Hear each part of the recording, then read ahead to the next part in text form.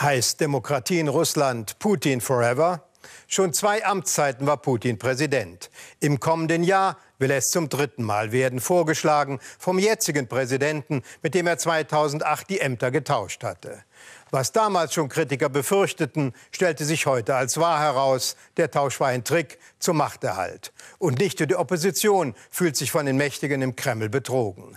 Die Wahl 2012 scheint damit jetzt schon entschieden. Vor allem junge Menschen resignieren. Sie werfen Putin vor, das Land zur Geisel seiner Willkür und seiner alternden, korrupten politischen Begleiter zu machen. Putin bis 2024, eine Version von Stabilität, die nicht nur die Opposition in Russland erschaudern lässt, wie Inaruk berichtet. Wladimir Wladimirovich, Sie haben Geburtstag und wir haben ein Geschenk für Sie. Ein ganz besonders süßes. Das neueste Video einer selbsternannten Putin-Armee. Kuchenbacken für Putin. Ob Eigeninitiative oder gesteuerte Politwerbung, jedenfalls deutlich unterhalb der Geschmacksgrenze. Herzlichen Glückwunsch, Wladimir Wladimirovich.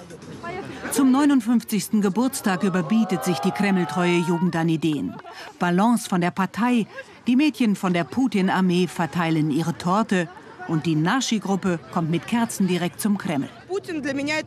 Putin bedeutet für mich ein starkes Russland, ein großes und mächtiges Land. Ich verehre ihn, weil er klug und weise ist. Perfekt inszeniert sind diese Aktionen. Die Regisseure der Macht überlassen nichts dem Zufall. Ganz selten nur gibt es kleine Pannen in der großen Inszenierung. Wie neulich beim Parteitag, als plötzlich die Hymne losging und Putin einen ungeplanten Zwischenstopp einlegen musste.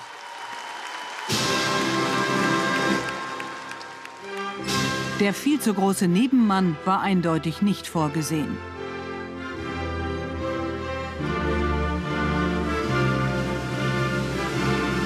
Danach lief es wie am Schnürchen. Präsident Medvedev trat auf und schlug als seinen Nachfolger seinen Vorgänger vor. Doch Wladimir Putin hatte noch eine kleine Panne zu überstehen. Und meisterte sie wie gewohnt souverän. Keine Angst, ich kann auch ohne Mikrofon. Ich habe meine Kommandeurstimme noch nicht verloren. Auf sechs Jahre wird der neue Präsident gewählt. Zwei Amtszeiten im Kreml sind erlaubt. Das könnte weitere zwölf Jahre Putin bedeuten. Die Opposition flüchtet sich in Zynismus. Zwölf Jahre ist er de facto schon an der Macht, sagt Gary Kasparov. Auch wenn vier davon formal Medvedev Präsident war. Aber der war nie eine selbstständige Figur. Putin hat ihn bewusst ausgewählt. Jetzt richtet er sich auf lebenslang ein, wie Brezhnev. Der hat die Macht auch erst abgegeben, als er starb. Der Brezhnev-Vergleich ist längst in der Welt. Im Internet wimmelt es von Fotomontagen. Putin als steinalter Sowjetfunktionär, der Inbegriff von Stagnation. An die vielbeschworene Modernisierung Russlands glauben ohnehin nur noch wenige. Jedes Jahr verlassen 100.000 Russen ihr Land, weil sie keine Perspektive für sich sehen. Und auch das Geld haut ab. Allein im letzten Monat betrug die Kapitalflucht 10 Milliarden Euro.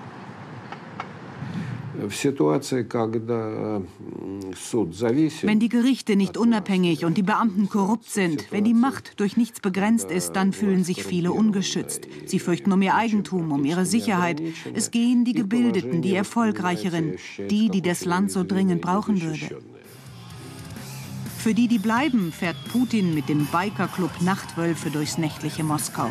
Ein sportlicher Putin, ein Super-Putin, der alles kann.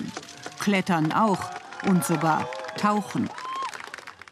Diese Geschichte war die Krönung. Putin besucht Archäologen am Asowschen Meer und entdeckt beim Tauchgang mal eben ein paar anderthalbtausend Jahre alte Amphoren. Die liegen ganz praktisch da im Schlick und Kameras sind natürlich auch dabei. Selbst Putins Sprecher hat mittlerweile zugegeben, dass die Sache mit den Amphoren wohl ein wenig zu dicker aufgetragen war. Doch im Volk kommt sie an. Putin ist der beliebteste Politiker des Landes.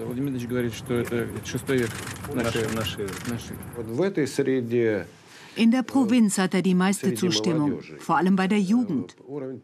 An die richten sich auch solche Filme. Putin ist für sie ein Held, ein Vorbild, ein Macho, der brutal ist, den die Frauen lieben, der alles kann. Und das Fernsehen zeigt ihn ohne jede Kritik. Andere Meinungen werden ausgeblendet. Die anderen treffen sich im Internet und neuerdings auch auf Veranstaltungen wie dieser Bloggertreffen bei Moskau.